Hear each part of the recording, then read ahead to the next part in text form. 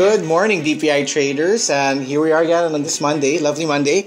And I'd probably like to kick off this uh, video with uh, Martin Luther King and his famous "I Have the Dream" speech. Um, reason why it's with our dreams and imagination that um, we've changed the course of history, as we've seen. And you know, um, it's all about your mindset and changing your mindset from poor to rich and once you've set your mind you can you know there's a saying if you conceive it you can achieve it. So you know we have these visionaries these billionaires who started with a dream and have become rich. Um, so when we're thinking of investing we're always thinking of what's the next best next best and big thing that's out there.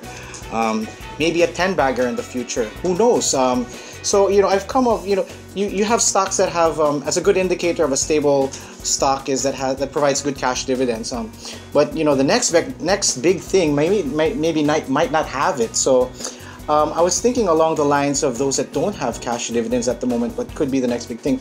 And I, I was looking at this list of those that don't have cash dividends, and um, there was one that stands out among the index stocks that are out there. It's called it's a company called Bloom. The ticker symbol is Bloom, or it's known as Solaire to most of us. Um, what is out there with it. Um, you know, it has Phase 1A that opens in October, and this will, you know, bring in more additional ancillary things for, for Solaire that wasn't there before, aside from the casino, like like more restaurants, clubs, etc.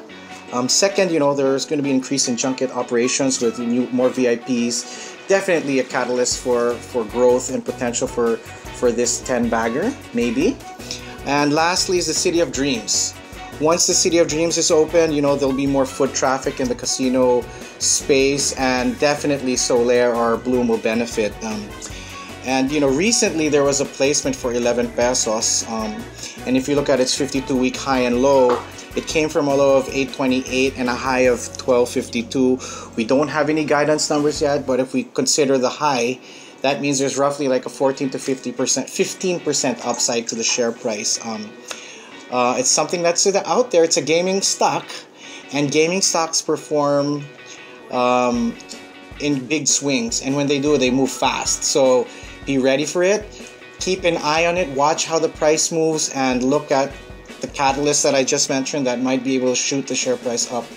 Okay, and that's all I have for now. And um, looking forward to speaking again next Monday. Um, so catch you next time.